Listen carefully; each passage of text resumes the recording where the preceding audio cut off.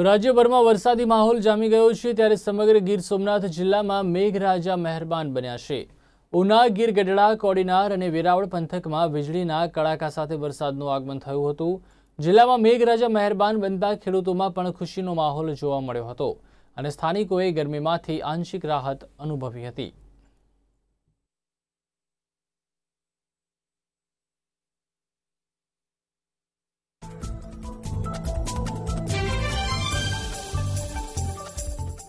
ગીર સોમનાથ જિલ્લામાં વાયુ વાવાઝોડા પછી વરસાદે વિરામ લીધો હતો અને ખેડૂતો ચિંતાતુર બન્યા હતા.